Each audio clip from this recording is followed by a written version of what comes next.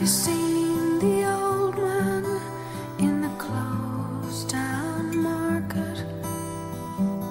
Kicking up the papers with his worn out shoes.